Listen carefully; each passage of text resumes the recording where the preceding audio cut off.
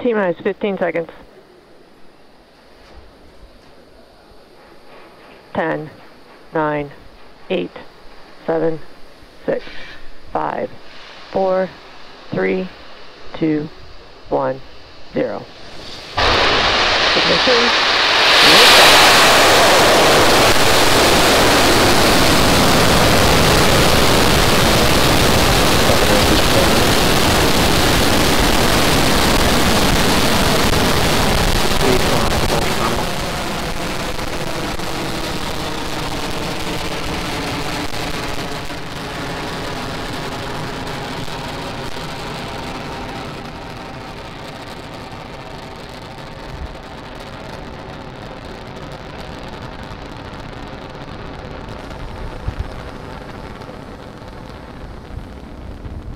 It's T plus 40 seconds, and we've just had liftoff of our Falcon 9 vehicle, taking Power our Starlink payload to its targeted deployment orbit. We are now throttling down and throttling back up in preparation for max Q, which is coming up here in about 10 seconds or so. Max Q is the maximum aerodynamic pressure that the vehicle sees throughout ascent, so 9 it's the largest structural load that the vehicle will see. Should hear that call out in about five seconds. Maximum aerodynamic pressure.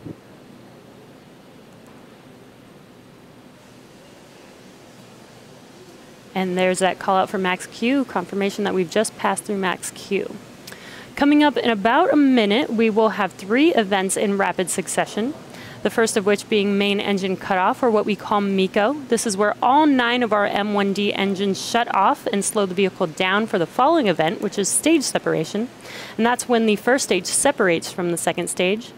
And then finally, the lighting of our second stage MVAC engine, which we call SES1 or Second Engine Start 1. Now, if you've been following our Starlink missions, you know that we've reduced the number of burns on the second stage for these missions from two burns down to just one single burn.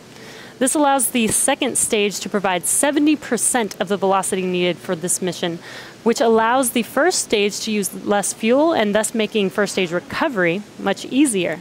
So today we will again only be doing one burn of that second stage engine. Again, coming up in about 10 seconds are those three events, MECO, stage separation, and SES-1.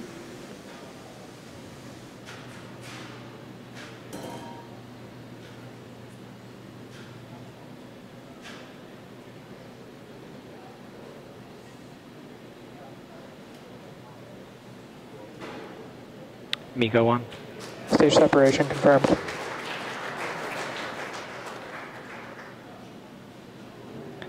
MVAC ignition. And there we've just had MECO and stage separation. That stage separation confirms the successful fifth use of our first stage booster. And you can see on your right screen that second stage MVAC engine lighting up and taking that second stage to its targeted orbit. And we're just a few seconds away from fairing deploy. Again, this fairing was used once before on a very first Starlink mission. And there is the visual confirmation of fairing deploy. So this means that we've successfully reused this fairing. So now let's see if Ms. Tree and Ms. Chief can catch those fairing halves today. We likely won't have that live view since fairing touchdown will happen past the conclusion of this morning's webcast, but stay tuned to our social media for updates later this morning. Stage two is on a nominal trajectory.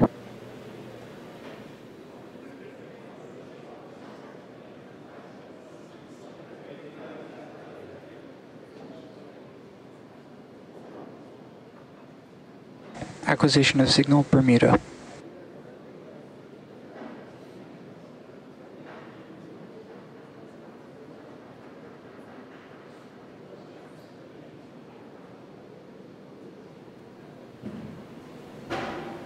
For those of you just joining us, good morning and welcome. We just had a successful liftoff of our Falcon 9 about four minutes ago. Uh, there's a lot going on right now. On the right hand side of your screen, our second stage. Its Merlin vacuum engine is currently burning and will continue to do so for a few minutes. It's carrying 60 Starlink satellites for eventual payload deploy. Uh, but we're going to focus the next few minutes on the left hand side of the screen with our first stage. Um, currently, right now, after stage separation, that first stage is boosting, still gliding up uh, without any engine power. It's hitting apogee just about now, and for the next few seconds, it's going to start to free fall down to the Earth's surface for an attempted first stage recovery on our drone ship in the Atlantic Ocean.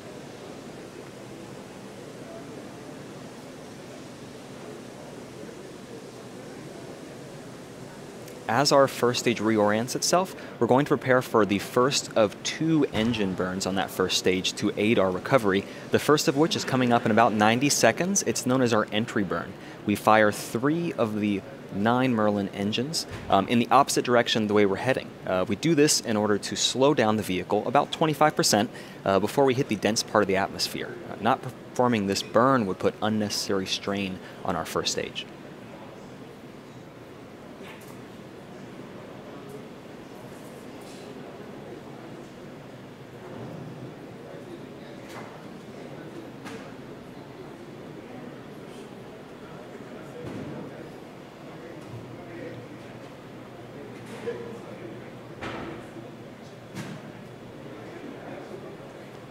We're just at about T plus six minutes. We're a little more than 45 seconds away from that engine burn. It only lasts about 10 seconds.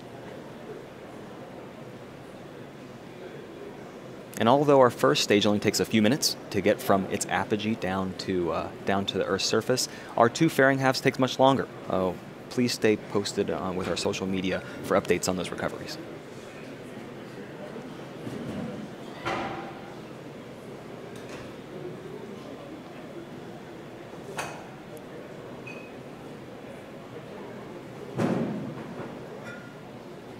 We're about 15 seconds away from that entry burn. We're going to wait for that visual confirmation the burn started and call out that that engine burn was successful.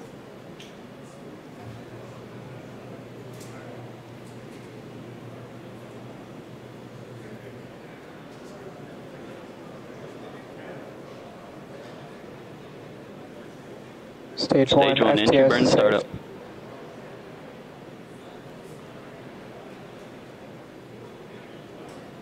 Stage 2 continues to follow a nominal trajectory.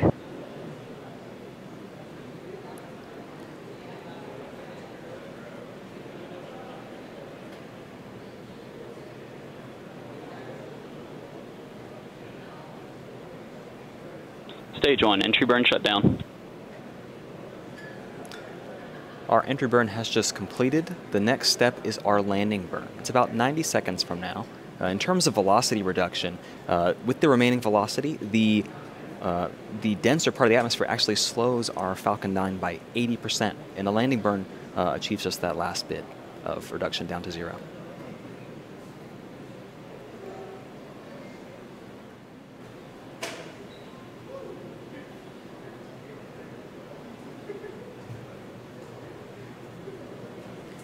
And although we're focused on first stage recovery at the moment, uh, at T plus nine minutes, a little bit less than that, our second stage, uh, its engine will cut off.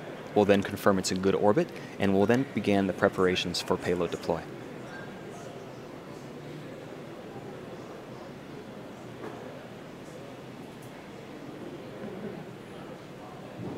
Starting terminal guidance. We're about 10 seconds away from that landing burn call out. We'll sit tight and see if we can get any feed of that, that event.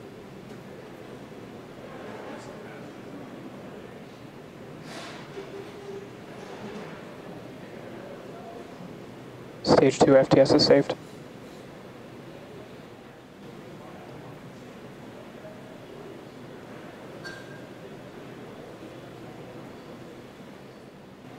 We're still waiting on call out and confirmation for that first stage, uh, but that's our secondary mission.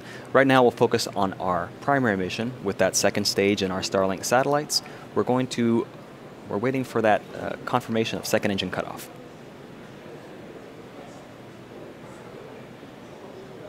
Have SECO 1.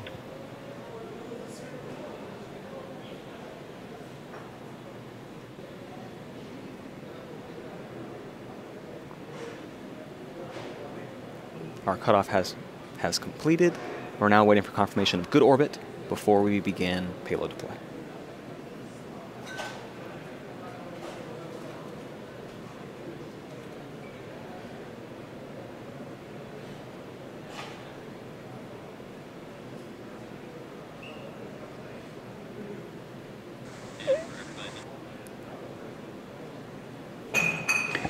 Expected loss of signal. So we've achieved that good orbit for our second stage, uh, but we're not in the right position in that orbit yet. Uh, second stage is now going to coast in this orbit for a few minutes.